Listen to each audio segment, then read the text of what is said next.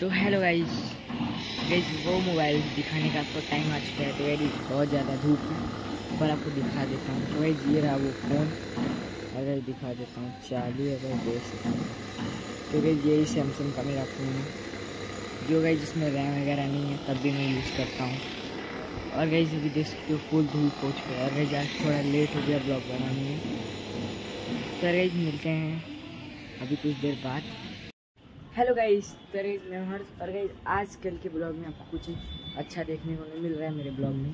तो गाइस अभी मेरा एग्ज़ाम का टाइम चल रहा है, इसलिए मैं अच्छे तरीके से ब्लॉग ले रहा। और गाइस यार, ये जो ब्लॉग आप देख रहे हो थोड़ा पुराना ब्लॉग है। मैंने पहले शूट किया था।